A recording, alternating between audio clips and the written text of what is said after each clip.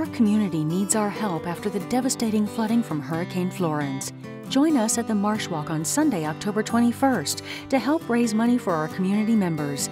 Enjoy a shrimp and grits cook off, live entertainment, food tastings, and a silent auction. The shrimp cook off winner and auction winners will be announced at 5. All money raised will be donated to the Waccamaw Community Foundation. For more information about the Marsh Walk Cares fundraiser, visit www.marshwalk.com.